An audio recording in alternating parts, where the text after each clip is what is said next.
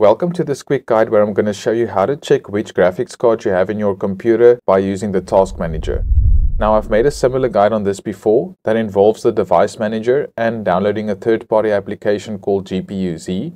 But as one of the commenters pointed out, there's actually a much easier and faster way to check which graphics card you have in your computer just by using the Task Manager.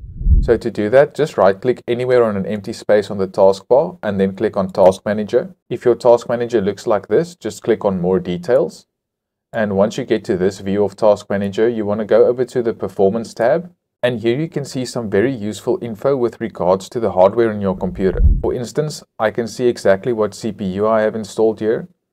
I've also made another guide where you can check if you have an SSD or hard drive installed on your computer, which you can also see here and you can also see the name of it listed at the top right hand side. So to check which graphics card you have, just find the GPU on this list and then you can see the name listed up there as well.